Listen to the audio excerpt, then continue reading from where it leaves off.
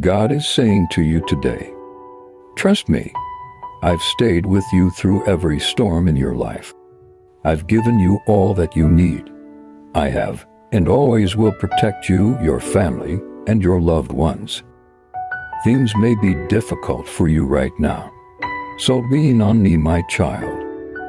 I am your strength. I know exactly what you are dealing with, and I will bring you through it. I have never left you before, and I won't leave you now. Trust me when I say I am making a way for you.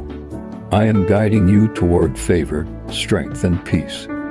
Whenever you feel like giving up and you can't seem to pick yourself up, remember that your strength comes from me. So never forget that you are a survivor. I am opening doors that no man can close. I have amazing things in store for you.